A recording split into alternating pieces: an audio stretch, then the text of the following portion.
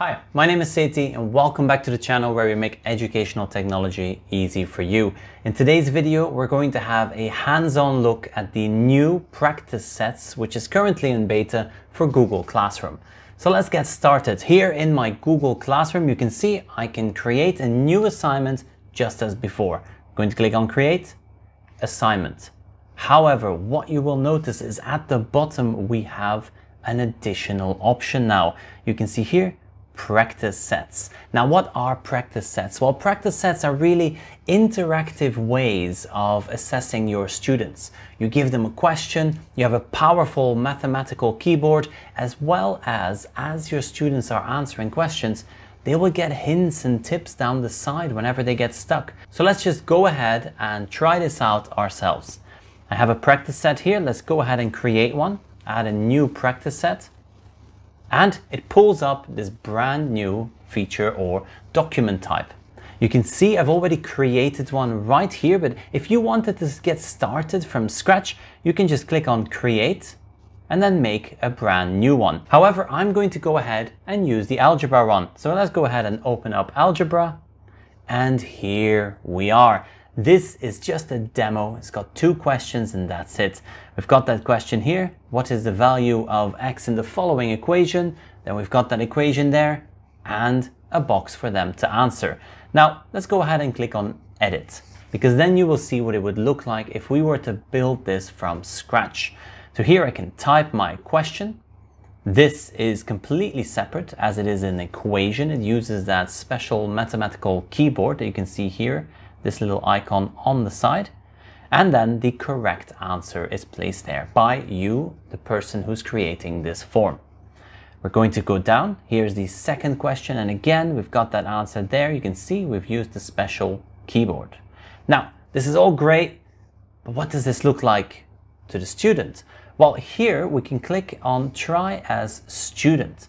Now what the student will see when you assign this, once this is fully rolled out, is they will get this special type of practice set, almost like a form. We have a question. They can type their answer here. So let's just say, let's give it the wrong answer. Let's start with x equals 2. And they have a space where they can show their work. Now, this can all be done on touch-enabled devices. Clicking here, We'll switch it to inking and they can start writing all their work. Great when you have stylus enabled Chromebooks.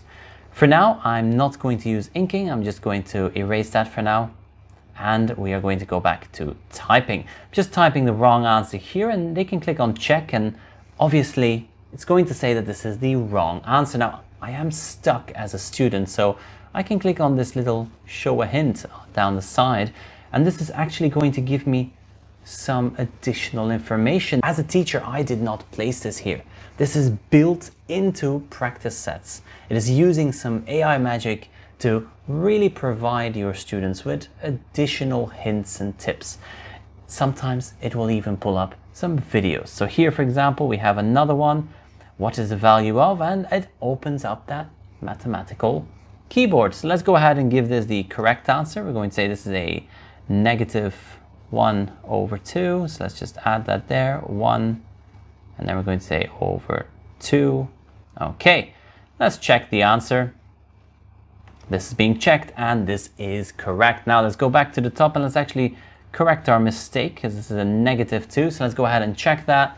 Correct answer. Both are correct. And there we go. We get some confetti celebration. We have solved this and our teachers will get access to everything we've done. They can see how we are doing.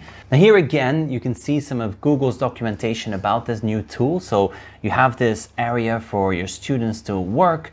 They get some tips and hints down the side as they get stuck, but you also get this massive dashboard for the teacher as they are grading. So you get some insights, who's struggling, how are they doing, which questions did they get wrong, and how many attempts did they have at this.